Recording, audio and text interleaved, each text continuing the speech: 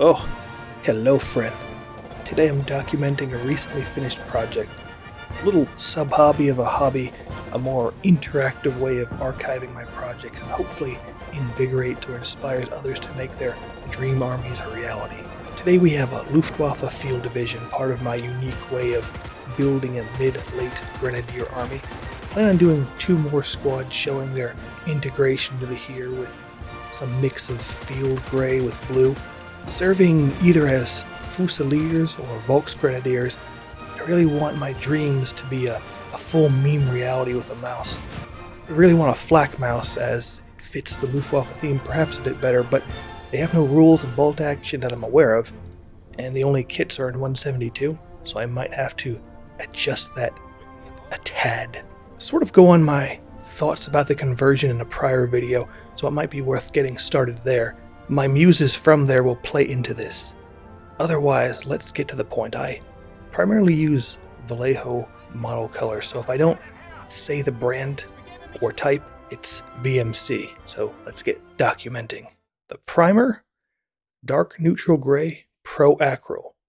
Since we're going blue-gray on most of the model, this is a good start point as I try to make the primer a color that will complement the majority of the model's color. Pro Acryl is pretty solid on its paints. They make paints that are pretty much match their primers 100% and they make some good quality white paint as well. Let's look at the muses for this project. I'm going to try to hit as close to these examples as possible. Base, uniform, non-covered helm, Luftwaffe uniform, World War II. Also an idea to use this combo for the bread bags and soldiers wearing camo smocks to break up the colors just a tad. Now we could do the standard black leather, but I think the brown will go better with the blue and make it stand out a little bit more. So for the ammo pouch, holster, belt, short boots, gaiters, and wood grips, German camo black brown The camo smock or Zeltbahn, bedding, rifle strap, Panzerfaust, helm covers, bread bags, German camo medium brown.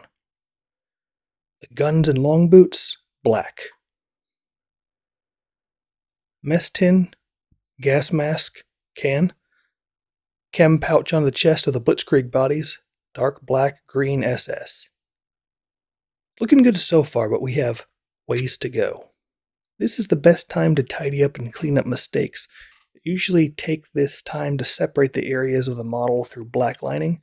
I'll thin down black paint to a watercolor consistency, then gently draw it onto crevices in the deepest areas where the cap and helm meets the hairline, the collars meet the shirt, belts meet the jacket, boots meet the hands, hands meet the rifle, straps meet the shirt, things like that. This helps me laser line the model for highlights. Highlight 1 Uniform and non covered helms, field blue. Holster, belt, short boots, leather brown. Wood grips, flat brown. Ammo pouch, camo smock, Zeltbahn, bedding, rifle strap, Panzerfaust, helm covers, bread bags, gaiters, earth from Vallejo Game Color gunmetal, Tapa canteen, buckles, metal bits, Leadbelcher from Citadel. Long boots, dark sea green.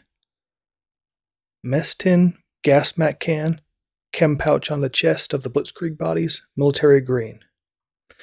I recommend dry brushing the highlights for the non-covered helm and boot tends to make things go a bit faster.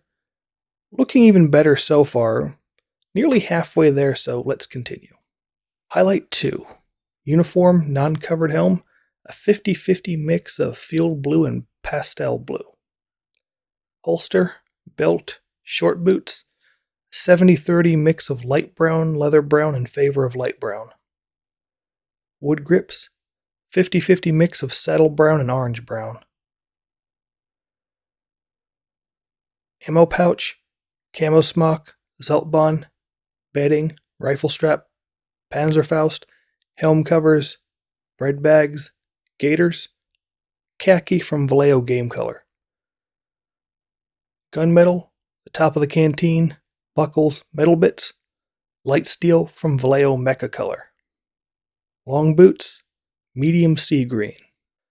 Mess tin, gas mask can, chem pouch on the chest of the Blitzkrieg bodies, green gray. Now, this is a spot where we can say good enough or move on.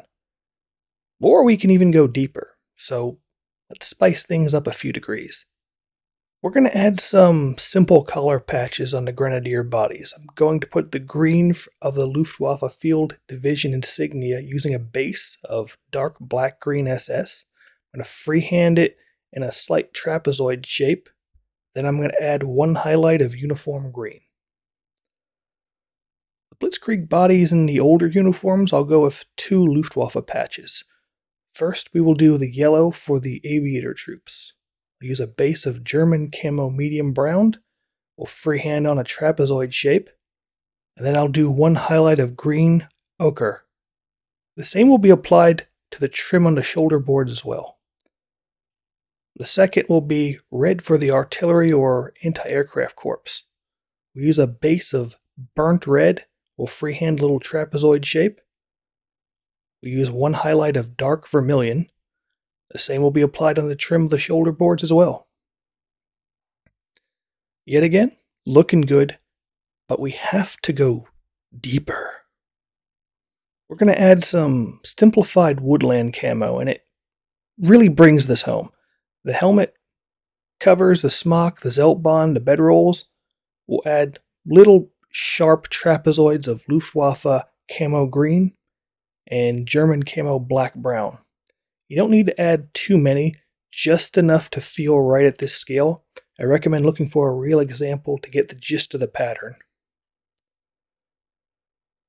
Then we will highlight each of those areas. For the green area, it'll be a 50-50 mix of Luftwaffe camo green and khaki. For the highlight, it'll be German camo pale brown. After that, base for the occasion and give it a hit of Ammo Matte Lucky Varnish. And there we go. Another project down. Overall, I'm pleased. I got yet another squad off my backlog. I might need to tidy up some of the highlights on the NCO as they look most off compared to the others. This week, the Cadia Stands box is on pre-order. I'm a little hyped for that, actually. Then we will be about two weeks before that actually ships out, so I'm thinking about what project I should hit next. I do have two I was sort of juggling around. I'm going to be doing the old style Space Marine Scouts for some Blood Ravens, and hopefully I can lock in the colors for a Battletech Black Knight in true 80s styling black armor with some interesting highlights. So we'll see how that goes. So if uh, anyone made it this far, hope something was useful, and that's it for now.